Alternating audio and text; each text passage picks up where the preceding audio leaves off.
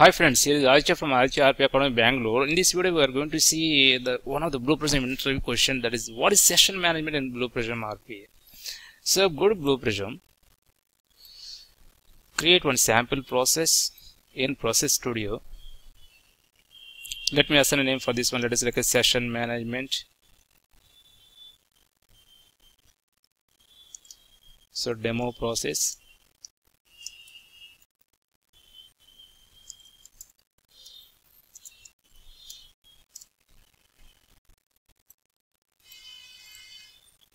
Click on next and assign a meaningful description for this one then create a new sample process here.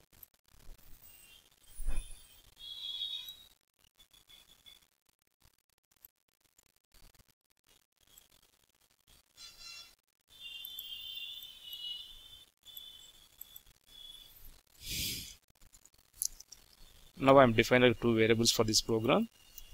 So counter initial value is uh, okay data item is data type is number initial value is 0 and define another data item that is uh, max loops. And go to data type is number and select like initial value is assign initial value is 10 and go to calculation. Then you can assign a name for this one like a increment and drag and drop the counter and plus 1 will resides in counter. Click on ok then go to the decision stage. Give a like a decision here whether it's greater than or less than or less than or equal to greater than or equal to whatever it is. So we can apply the logic functions for this decision stage. Click on ok and then use an anchor stage to connect it. So link all the stages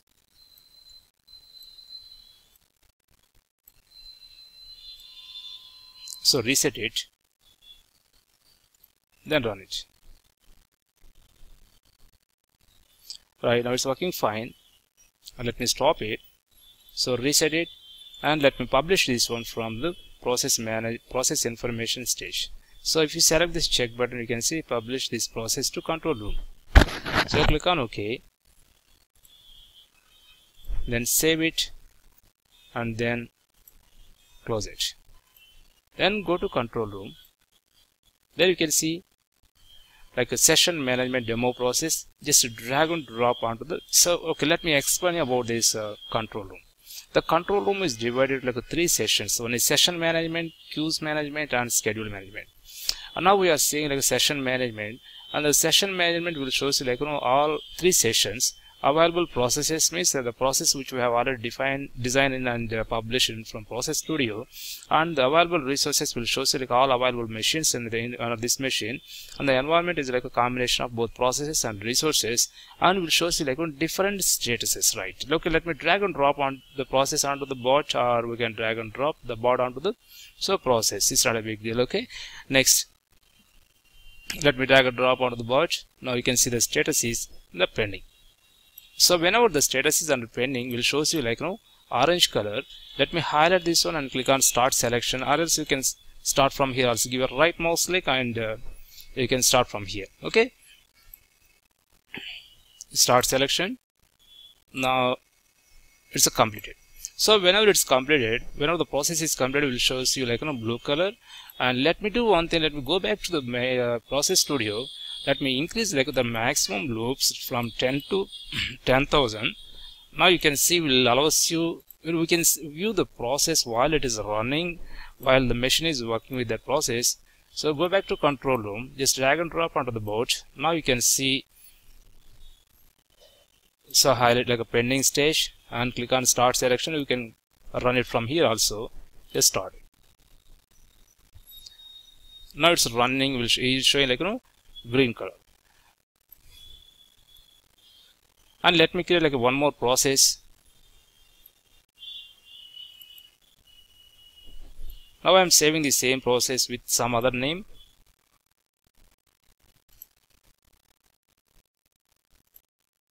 Save as like a session management.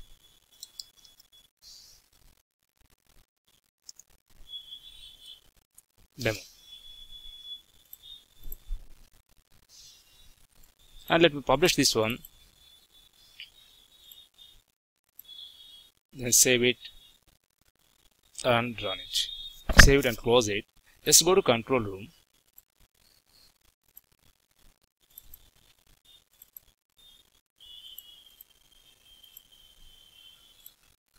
Just save it to come to the database save changes then go to control room. There you can select two processes here and the earlier one is rather completed.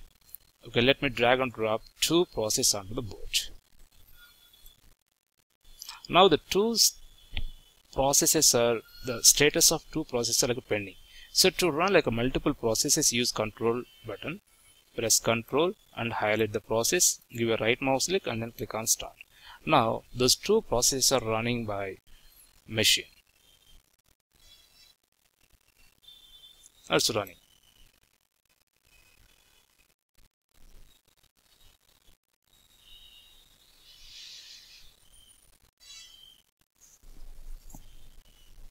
So both are completed. Suppose if it is terminated by the machine, so what it shows. So let me go back to the process and let me do it like one mistake intentionally. So let me unlink it. To save the process.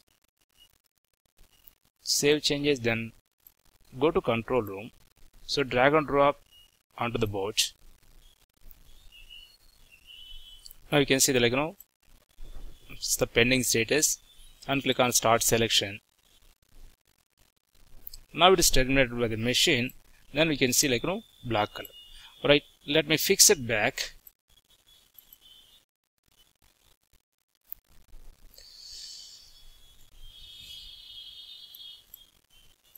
Use like a link stage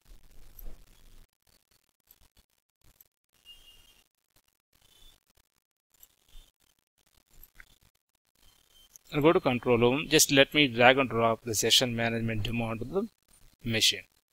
Right now it's highlight the pending then you know highlight this process. Click on start selection. Now it is running.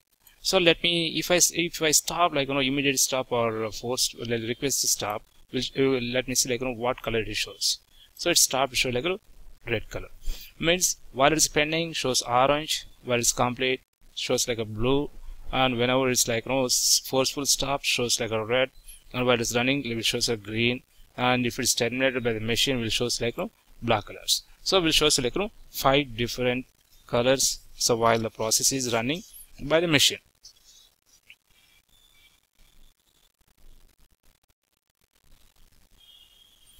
So the resources area here like resources area.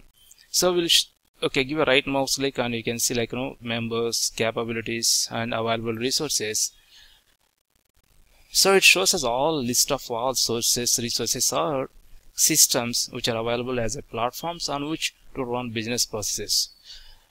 So by right clicking on the resources, so will you, you know, we can we all allow will always select you know, selection of viewing mode with large icons. Here we are seeing like you know only one uh, uh, only one machine. That's why it's not showing that option. Okay.